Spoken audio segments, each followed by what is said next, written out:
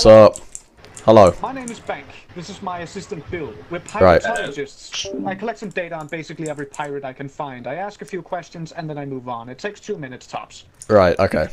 And Greg, are you usually the gold hoarding type? I'm usually the um the the the sleeping on the boat type. I'll take that as a uh, hmm. Are you usually the aggressive sort? I, uh, I No, we we are, we are very friendly people. We are we are very very friendly Very people. friendly. Hello, Big Suck Bob.